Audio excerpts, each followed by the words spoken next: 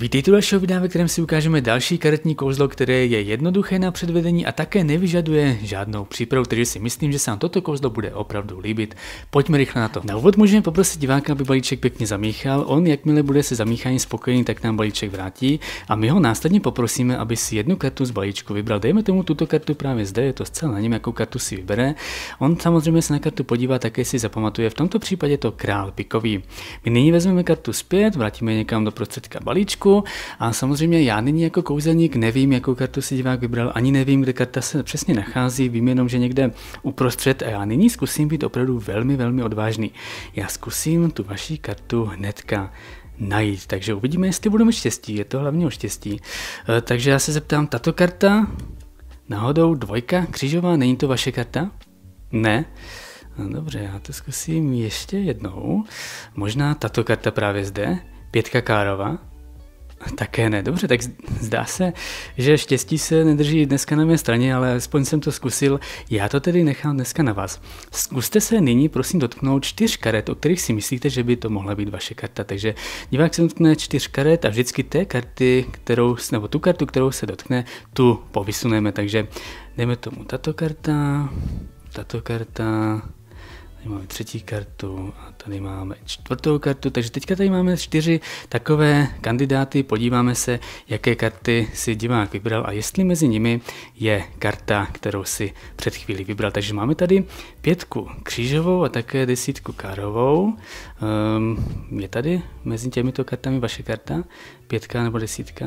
Ne? Dobře, zkusíme. Ještě máme dva pokusy, takže ESO srdcové, sedmička piková, také ne. Dobře, tak zdá se, že eh, se dneska štěstí nedrží ani jednoho z nás, ani jeden z nás neměl eh, štěstí v tom, abychom nalezli vaši kartu. Znamená to jednu jedinou věc, štěstí nám nepomůže, pomůže nám jedině magie. Takže vaše karta je nyní uvnitř balíčku, zkusíme udělat jednoduchou věc. Lusknout. Podíváme se, jestli náhodou nám magie nepomohla. Máme tady uprostřed kartu, která zde předtím nebyla. Je to král pikový. Je toto vaše karta? Takže to by bylo kouzlo, nyní se společně podíváme na jeho vysvětlení. Jedná se o kouzlo, které nevyžaduje přípravu, balíček může být zamíchan divákem, který si následně vybere libovolnou kartu z balíčku, dejme tomu tuto právě zde. On se na kartu podívá, také si zapamatuje, v tomto případě je to pětka piková. Divák nám vrátí kartu, no a naším úkolem bude dostat kartu na vršek balíčku, takže já vám ukážu, co jsem dělal v předvedení. Měl jsem to v podstatě jako součást prezentace, kterou jsem si zvolil, nicméně můžete to udělat libovolným způsobem, jakým chcete, nějakým způsobem, který jsme si ukazovali třeba třeba dříve, takže vezmeme si kartu, vložíme ji takto do balíčku a v předvedení jsem udělal to, že jsem tímto palcem vyvinul tlak takto z vrchu, takto jsem kartu zasunul, nyní zde máme mezírku, takže tady je diváková karta, nyní jsem tuto mezírku přechytil na malíček a tím pádem eh, můžu s balíčkem zacházet v podstatě normálně, protože tady z boku nám tu mezírku kryjí prsty, tady je to také zakryté, takže je to poměrně bezpečné. Nyní jsem vzal všechny karty nad mezírkou, takže takto a otočil jsem je. Zde není diváková karta samozřejmě.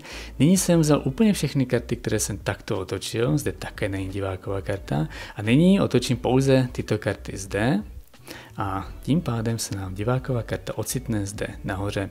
Takže ukážeme si to ještě jednou, kartu vložíme dovnitř, jak jsem říkal, můžete použít libovolnou metodu, která se vám líbí třeba více, já jsem použil toto, takže takto vložíme dovnitř, zde máme mezírku, přechytíme na malíček, nyní vezmeme karty nad mezírkou, otočíme, nyní otočíme všechno, otočíme pouze tyto karty a divákem vybraná karta je nyní nahoře.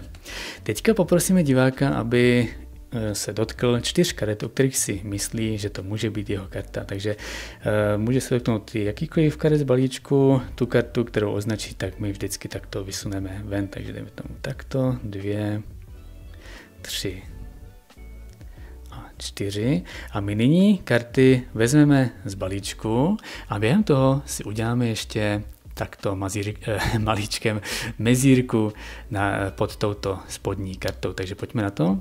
Vezmeme si takto karty, během toho uděláme takto mezírku malíčkem a nyní vezmeme tyto čtyři karty, tak to je otočíme, položíme nahoru a odebereme všechny karty nad mezírkou, to znamená čtyři karty, které si teďka divák vybral společně s tou kartou, kterou si vybral na začátku.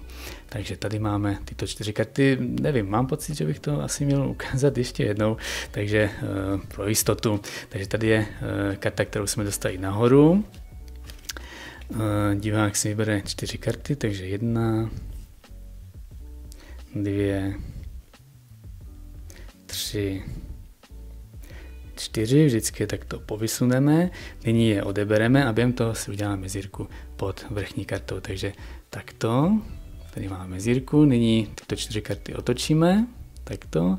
A nyní vezmeme všechno nad mezírkou, to znamená čtyři karty, které si teďka vybral divák společně s tou, které, kterou si vybral na začátku. Nyní ukážeme divákovi první dvě karty, sedmička piková, král pikový, ehm, toto není jeho karta, ani jedna z nich, Nyní ukážeme další dvě. Král srdcový a devítka Károva. Ani toto není uh, karta, kterou si vybral divák. Nyní už máme všechno o toho, protože diváková karta je zde, už je také otočená, což jsme také chtěli. Karty můžeme takto položit na stůl. Nyní uděláme jakékoliv magické gesto.